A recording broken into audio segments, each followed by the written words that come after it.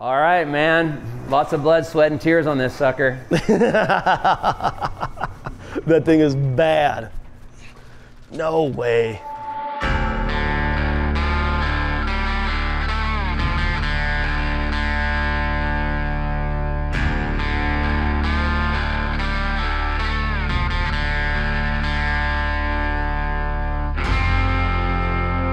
Working on your own motorcycle, it, it creates a bond with your bike. It's something that you're putting that energy into. You're bloodying your knuckles. Working with my hands and fabricating and building motorcycles, it's literally therapy.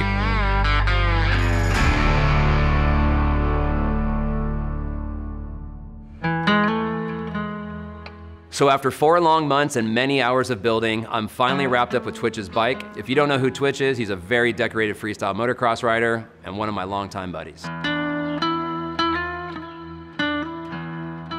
My bike is definitely gonna be more on the stunt side just because Twitch rides aggressively, he rides really well, and you know, this bike's gonna be bouncing off the rev limiter most of the time it's ridden. So, you know, it's not just a showpiece. I mean, it has to look great, but it also has to have a big function piece as well as durable.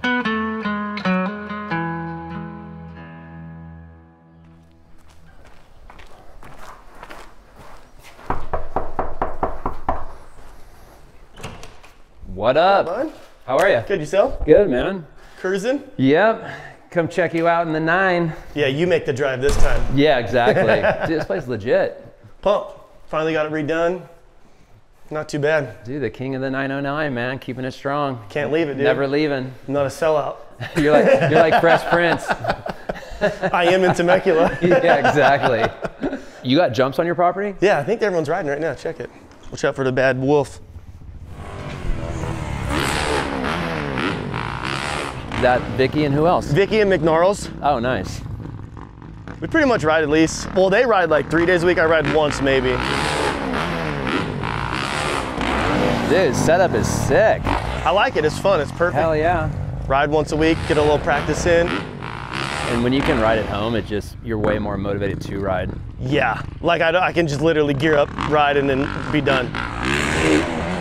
Dude, they've been riding so good lately. I might have to dust off the freestyle bike and come out and ride with you. It sounds good to say, but not to do. oh, dude, I've actually been having the itch lately. I, I have? haven't hit ramps in forever. I mean, I hit mine once in a while, but Yours looks fun. It looks super safe. it's so Yeah, safe. that's what's it's cool over fun, there. and then you can just moto laps, hit the ramp each lap. yeah, So it's been cool though.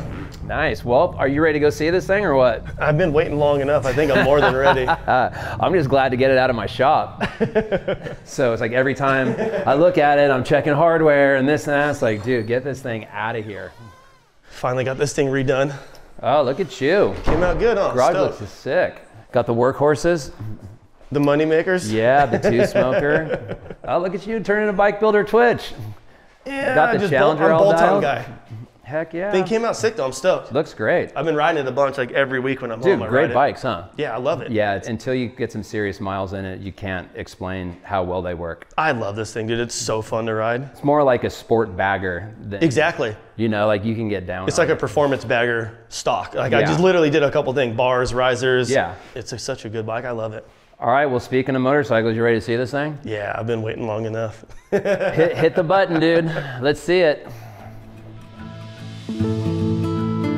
You know, I don't actually do that many projects for other people, truthfully. So the people that I do build motorcycles for, I have a connection to them, especially in this situation. I feel like I'm kind of passing the torch on. Like I'm able to do something, put my spin on an Indian motorcycle, pass it off to the new owner, and hopefully they go out and have a great time on it. I've been waiting on this bike for about, I'd say six months now. And dude, I couldn't wait. Like every chance I got, like if anyone was ever filming in Hart's shop, I'm like looking, zooming in, like just trying to see anything I could to see on the bike. So I know what Schultz can do. I know what Hart's already doing. Like whatever, if he has a budget, that whole budget goes into that bike. So I know what I get from Hart's gonna be dope, and I know the paint from Schultz is gonna be flashy as hell. Like it's gonna be nice, and, and that's what I want. Like I want a dope bike that performs, but also looks really sick at the same time. All right, man. Lots of blood, sweat, and tears on this sucker. That thing is bad. No way. What you think? I don't have words. this thing That's is good. so sick. So I didn't get exotic on crazy sheet metal and all the. I literally stripped it down to where it was just the motor in the frame, and replaced and rebuilt everything. That's the plan. and and it was just all performance based. Um, I re-engineered and did all this for the Beringer caliper. This so. It's It's got like more of a Morimoto. yeah, it's got more of a gradual feel to it. Jake at Barnstorm did the knee cut on the tank as well as the chain Oh, he conversion. did? Yeah, so that way the bike feels a little slimmer. It's like you don't even see it with the paint job. Yeah, like the you know, paint like hides it blend- pretty hides well. it a lot. That's dope. Are those your bars too? Yeah, so these are my bars and grips uh, with ODI, and then as you see, like the Beringer clutch perch, which I think you have on your Indians, a little Yep. bit more moto feel than It, the big. feel, it makes me feel so much more comfortable just having solid controls. It feels like my dirt bike. exactly. So uh, should we uh, fire up? Thing's bad. Yeah, let's hear this thing. Thing's bad. Yeah. Yeah, sounds good too. Sounds so good. So stoked right now.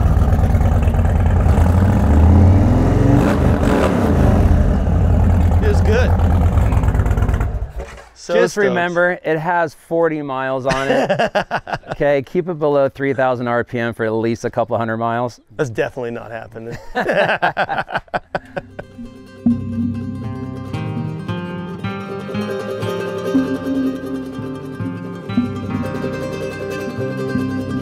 I'm really happy with Jeremy's bike. He was a tricky one. For the things he's gonna do with that motorcycle, I, I don't even do. You know, I don't beat up on my stuff. So there was some pressure to get this thing correct for him. Today was dope. The thing, like I was just, I was pumped. The colorway came out sick. Like everything he did to this bike is exactly what I would do on my own. With Jeremy's paint, I wanted to do something that was flashy, classic, represented Jeremy well. Also, it looks kind of loud and fast while it's parked, whether it's riding down the road. Beyond the Schultz paint, you start with the Dunlop tires, they're super sticky tires. Going into the machine wheels, upgraded all the brakes, went an inch taller on the front forks, getting into the chain conversion, down to the Bassani exhaust, the two into one exhaust. I wanted to slim that bike up just a little bit for Jeremy since he's gonna be doing like a lot of stand-up stuff. I reached out to at Barnstorm. He does a great knee cut on that tank. I work with Dave at Trac Dynamics to do a billet aluminum swing arm on it to keep that bike super rigid, minimalizing the flex. And me and Jeremy both ride motocross, so my ODI Hart Luck handlebar with the grip is a perfect match.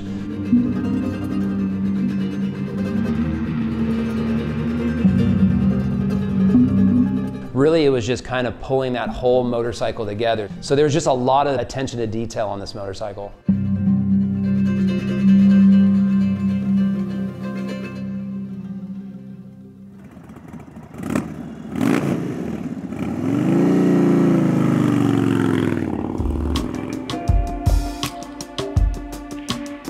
Me and Jeremy go back over 25 years. You know, we've traveled the world together, we've pushed freestyle motocross together, and here we are working together 25 plus years later on Indian. I was really, really happy to see his genuine enthusiasm and happiness, not only just seeing the motorcycle, but then that smile got a, quite a bit bigger once he got a chance to get on the bike and go ride it. The way the bike handles too, it just feels so light and easy. Like the way it handles, it maneuvers, like it's, it's really predictable and it's super fun to ride.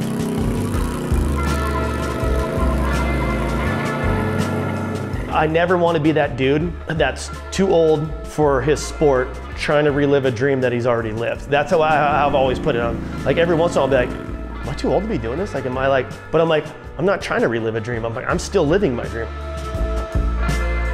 Man, I guess to do as long as Twitch has, it's a lot of stubbornness, refusing to grow old. You know, I mean, I'm, I'm doing the same thing. I tell people all the time, I don't know if Joe Montana plays two-hand touch on the weekend, but guys like myself and Twitch, we're gonna ride dirt bikes and street bikes until we're dead.